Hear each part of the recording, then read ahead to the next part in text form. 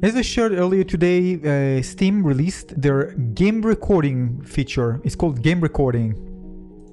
You can activate it by just going to Steam, uh, to settings, and then go to game recorder options, and then you can uh, choose it to let it either do it manually and just start it and stop it or let it record in the background. Now this feature is amazing. Basically it gives you so many things to control over the recording and basically has a built-in timeline which is kind of video editor, uh, mini video editor and also the ability to export games so it has a built-in converter and everything was done very simply and it works both on games you import to Steam and those of course uh, native Steam games. So basically it works with any game as long as it allows the Steam overlay. Now the question is how it's compared to NVIDIA Shield and uh, OBS. So I already made a video talking about the difference between NVIDIA Shield and I found of course uh, this feature, the game uh, recording from Steam, to be so much better. It has so many features that are so much more advanced that if you can use the game recorder, I highly recommend doing so. Although there's one caveat, uh, which I hopefully this will be addressed, or maybe I missed something, that it's only record voiceover with a single channel. So both the game and the voiceover will be presented as a single channel where you import it into a video editing software. This means that for others it can be a deal breaker. Hopefully this will be addressed or if it exists, I didn't find it. So before we go to quick comparison, uh, first of all, you kind of virtualize uh, the recording. So it just create a timeline with lots of metadata.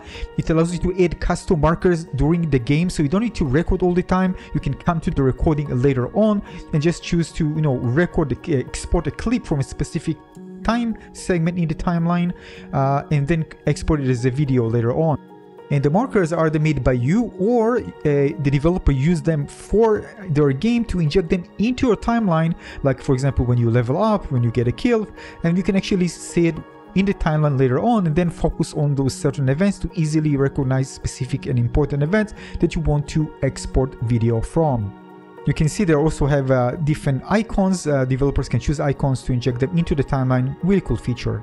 So the thing is, generally speaking, that is not as advanced and confusing as, for example, OBS, which is much more advanced, uh, but still designed to be accessible and easy to use with a timeline feature that makes it very easy to both record, extract videos, share, control the quality, the file size, even if you're not such a very technical person. Although again, in terms of technicality, the NVIDIA Shield is much easier in that aspect, but again, it's much less advanced.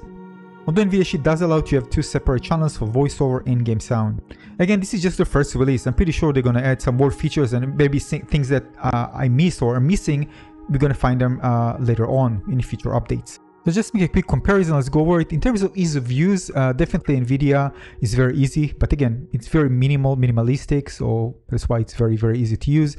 Uh, Steam game recording, still very easy to use and integrate into Steam, so they kind of choose a balance both for advanced features and ease of use, and they done it very well. OBS requires some setup configuration and there's so many options that you can add, more than you can even imagine, with so many plugins and stuff and things related to even remote content and lots of customization options and changing the quality and different options for recording and codecs. Although again it's much more complicated, it gives you so much more degree of control in doing very creative things with your video recording. You create different layers and there you can add many different audio sources and many different overlays. You can even combine different layers of different games. This is way more professional way more advanced, way more advanced than anything else here uh, in this comparison. This is superb software for both streaming and video recording alike. Now it is a performance impact based on my experience of the Steam game recording at minimal performance impact, so does NVIDIA Shadowplay. Uh, and, but OBS, I had issues with it, even lately with the Monster Hunter Wilds, which actually once I stopped using it and using NVIDIA Shield, the difference was mind-blowing. I got so many frame rates, I was actually shocked the difference was so big. And actually using recommended settings anyway, it has much bigger impact than I thought.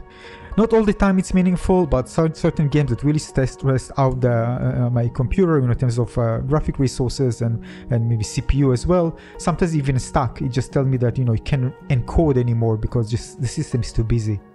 Alright, so in terms of customization, uh, again, listen, also the game recording from Steam is quite limited in options, but it's way more than you get with NVIDIA Shadowplay because again talking about customizations you know mixing and matching different things and you know it's it's much more limited in this aspect although in terms of features overall it's much more uh, uh, advanced component NVIDIA Shadowplay.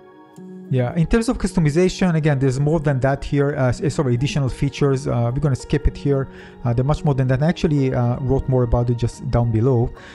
In terms of voiceover, when I imported into the video editor, it actually showed just one channel. Uh, hopefully this can be addressed or maybe I missed something, but I did check. Uh, if you know more, let me know in the comment section below. Uh, but other ones, OBS and NVIDIA, actually with OBS you can do several channels, of course. You can really get crazy with it. Uh, but again, it does support two separate channels. In terms of built-in timeline, well, this is a great thing about having uh, Steam game recording. You have a big timeline. It's actually virtualized everything. So if you temporarily timeline and then you can go and extract clips from it. Think about it like a stream, for example, watching a stream and deciding to clip out uh, certain parts of it uh, and save it as a video or share it or whatever. The markers are, I think, the most innovative thing here. This is just, this is going to make huge change in terms of people favoring this feature, uh, this uh, recording feature, uh, sorry, this recording app. And this is because it allows you to other you customizing markers, putting markers instead of just, you know, all right, I'm going to save the, the last 60 seconds now. And then you go back and you want to edit it and then you need to edit each video, especially if several video and you want to edit many of them. You just put markers. Later on, when you go back to the timeline, you can just focus on what you want to extract. And also, as I mentioned, devs can also add their own markers. So if there are some really important things in the game, like you level up, for example, and uh, especially for recording a very long gameplay, like maybe even several hours, uh, you can just save those uh, moments. And imagine saving very, very big, uh, you know, lengthy gameplay, and you need to find all the things. Before that, if you record, you need to go back and search for it. Maybe you just record many clips. Here, you just put the markers. Then you go back and you can just, you know, take out the things that are important. Either the developer and uh, put something inside or you put it yourself. You can actually add markers even after you just watch the timeline. You can add custom markers yourself when you watch the gameplay yourself. I'm saying lots of yourself here, I know. Alright, easy to share content, yes, this is like, you know, having a mobile versus desktop. It's so easily just to share content either into Steam or even create a barcode and share it with others uh, with a link. Really, lots of cool uh, features to quickly share with others.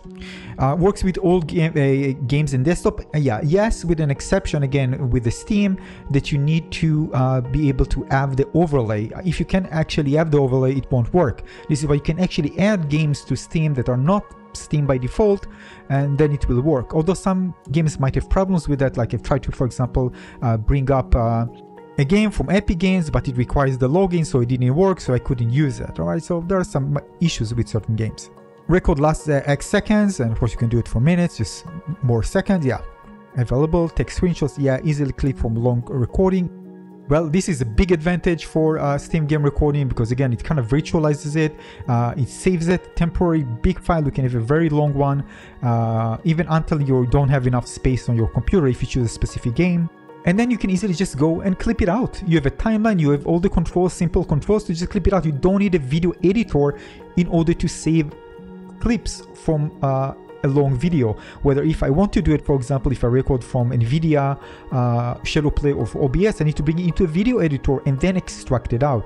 Here it just works. We can actually choose also uh, the quality, the length by size. You can decide even to reduce it from Full HD maybe to HD or from 4K uh, to Full HD. Really great options. Alright, uh, video quality control, yes, the best is in OBS by far. NVIDIA is very limited, Steam game recording uh, has uh, more features. So yeah, overall, uh, if you really want the best control of the video quality, I mean by far, I'm telling you, there's nothing like OBS in that aspect. This is really great for those who are doing streaming and those who want to really very high quality or great degree of control over the different quality and the codec and other different settings. Uh, OBS is the way to go by far. Still, Steam Game Recording bring very good features and keep it simple. The ability to modify bitrate, FPS on export, again, you can really do it in OBS. You can decide it ahead of time. But when you go to Steam Game Recording, because it kind of virtualizes, you have the timeline, you can then extract uh, a clip, a video, and then modify the resolution, bitrate, uh, and, and the frames uh, before you export it. Really great feature if you don't know about anything in about video editing, you don't want to mess with it, you still can create some really cool clips and export at the right, uh, you know, uh, frame rate, resolution, and so on. Send a video to phone, yeah, it is available. Uh, create your link, I mentioned yes. Set quality levels for individual titles. This is great again because again it allows you for if for example games that don't require lots of uh, you know higher quality for example for whatever reason you need lower quality to save space you can do that and it works per title. So you launch the title it recognizes the title and uses that setting. So for example for a specific uh, title you can just record for example the last uh, five minutes for example and put the quality on low all the other one it doesn't exist so again really way, nice way to segment that in terms of the timeline uh, plugin support, uh, yeah, or OBS, of course, there's nothing like it. Who knows, maybe they're gonna add something similar in Steam Game Recording later on. Prevent desktop reporting, yeah, available in all of them, OBS, NVIDIA Shadowplay, and Steam Game Recording. Alright, uh, SDK for developers, for OBS uh, you have the options to create different plugins and stuff, and basically extend the features uh, using plugins and uh, stuff and NVIDIA Shadowplay doesn't have that. Steam Game Recording has the option for uh, developers with an API to a specific events, state, description, game modes. Uh, so you know exactly, you know, what, for example, if you have a certain game modes, you can actually segment it. So you know this is a game mode specifically that I'm, um, you know, this time uh, um, it's available in time, so you can focus on that. Or maybe if you level up, you're gonna see a marker there. Really, this is a fantastic feature, one of the most innovative and and great features that uh, players will want to use Steam Game Recording for. So you don't even need to add markers yourself. If you play Dota 2, let's say for example, and they add custom markers, everything will be there in your timeline automatically. So yeah, which one is best for where OBS, advanced users want full control over the recordings, NVIDIA Shadowplay, casual gamers want easy high quality recordings, and Steam Game Recording. And again, this is the other one is for Steam users uh, who want quickly record gameplay, but again, it has many more features compared to NVIDIA Shadowplay. So yes, when Valve are doing something, they just nail it out of the park. We know that, right? It's going to be like something quality. And it it is. And I'm really happy that, you know, to just tell you that it does bring some really useful features and some of them we're going to see even going to find it more useful once developer we're going to add those uh, specific markers and other features using the SDK. And then they also kept things very simple, very easy, very intuitive. So now it's become much, much easier to create some really cool content uh, from your gameplay in very easy and fast manner. And that's about it. Which one you prefer? Are you still continuing playing using NVIDIA or now if you're playing on Steam you're going to use this one or you're just going to stay with OBS because it has just all the features that you want. Let me know in the comment section below. Thanks for watching. If you have more things to add, mention them in the comment section below uh, so more can learn about uh, the different uh, differences between those three. Thanks for watching.